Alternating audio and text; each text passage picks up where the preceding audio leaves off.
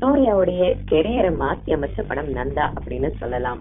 அந்த படத்தை தொடர்ந்து சூர்யாக்கு எந்த படம் ரொம்ப பெரிய இமேஜை கிரியேட் பண்ணி கொடுத்துச்சு அப்படின்னு கேட்டா காக்கா காக்கா கஜினி இந்த மாதிரியான படங்கள் தான். காக்கா காக்கா படம் கௌதம் மேனன் ஒரு பெரிய இமேஜை கிரியேட் பண்ணி கொடுத்தாரு சூர்யாக்கு. அதை தொடர்ந்து கஜினி அப்படிங்கிற படம் மூலமா இவரை மாஸ் ஹீரோவா மாத்தினவரு ஏ ஆர் முருகதாஸ். இந்த படங்களை தொடர்ந்து இவரு நிறைய படங்கள் அதாவது வேலு சிங்கம் சிங்கம் டூ இந்த மாதிரியான ஆக்ஷன் படங்கள்லயே நடிச்சிட்டு இருந்தாரு. சூர்யாவுடைய இமேஜும் கடகடன்னு வளர்ந்துச்சு. பெரிய ஹீரோஸ்ல ஒருத்தவரா மாறினாரு. அண்ட் அதை தொடர்ந்து கஜினி காக்கா காக்கா மாதிரி ரொம்ப விறுவிறுப்பான படங்கள்ல நடிக்கலாம் அப்படின்னு அவரு ஆசைப்பட்டிருந்தாரு.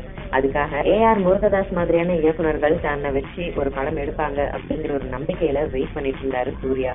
ஆனா ஏ ஆர் முருகதாஸ் துப்பாக்கி படத்துடைய வெற்றியை தொடர்ந்து விஜய் கூடவே அடுத்த கூட்டணியும் வச்சுக்கிட்டாரு கத்தி அப்படிங்கிற படத்தை இயக்கிட்டு இருக்காரு. அதனால சூர்யா இதுக்கு மேலேயும் வெயிட் பண்ண முடியாது அப்படின்னு சொல்லிட்டு லிங்குசாமி பக்கம் திரும்பி அவருடைய படத்துல அதாவது அஞ்சான் படத்துல நடிச்சிட்டு இருக்காரு. அஞ்சான் படத்துல நடிச்சிட்டு இருக்கும் போதே இன்னொரு படத்துக்கும் கமிட் ஆயிட்டாரு. வெங்கட் பிரபுவோடைய இயக்கத்துல அவர் நடிக்கிறதுக்காக தமிழ் புத்தாண்டு அன்னைக்கு புது படத்துக்கான பூஜைகள் ஆரம்பிச்சது அந்த படத்துக்கு இன்னும் பெயர் வைக்கப்படல. இருந்தாலும் கஜினி மாதிரி அந்த கதை இருக்கணும் அப்படின்னு சொல்லிட்டு சூர்யா வெங்கட் பிரபு கிட்ட கேட்டிருக்காரு.